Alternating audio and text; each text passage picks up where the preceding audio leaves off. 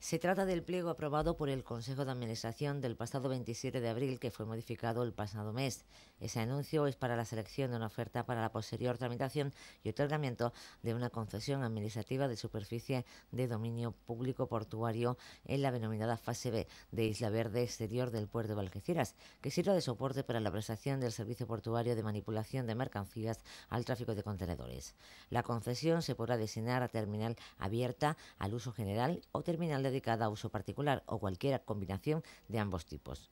Los pliegos de bases, condiciones generales y las cláusulas de explotación están a disposición de los interesados en el tablón de anuncios de la página web www.apba.es.